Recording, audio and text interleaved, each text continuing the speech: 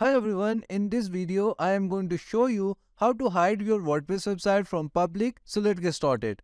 So this is the website we are going to hide and after the tutorial no one can see our website except the administrators. So we will log into our WordPress website dashboard and from here we are going to install a plugin.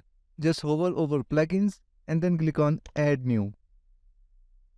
And here we are going to search for maintenance and we are going to install this first plugin. Just click on install now and then click activate.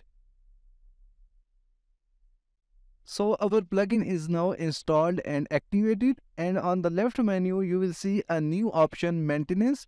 So I will just click on it. Here it will show us its premium plans. So I will just click anywhere else and it will be closed. Now on the top you will see a button. We are going to turn it on. And now if you scroll down and here you will see a content section. Here you can add your title that you want to show on your website. You can also add a headline for this. And also you can write a short description when your website will be live or anything else. And after that you can also put your footer text here.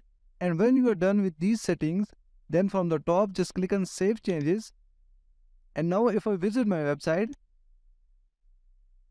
as you can see that I am still seeing my website live because I am the administrator of this website.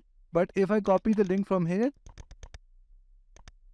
go to a new incognito window and then visit my website from here. And here you can see that our website is hidden. So this is how you can hide your WordPress website from public. Thank you so much for watching the video tutorial. Please like the video and subscribe to my channel.